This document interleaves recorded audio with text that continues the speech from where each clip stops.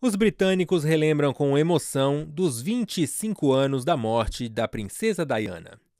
Fãs se reuniram diante do Palácio de Kensington, a antiga residência de Lady Di em Londres, onde colocaram flores, bandeiras e fotografias da princesa. 25 anos após sua morte, Lady Di continua sendo uma referência para os britânicos. A princesa de Gales morreu aos 36 anos em Paris, vítima de um acidente de carro quando era perseguida por paparazzi. O veículo que transportava Diana bateu em alta velocidade contra uma coluna em uma passagem subterrânea nas margens do rio Sena, perto da Torre Eiffel.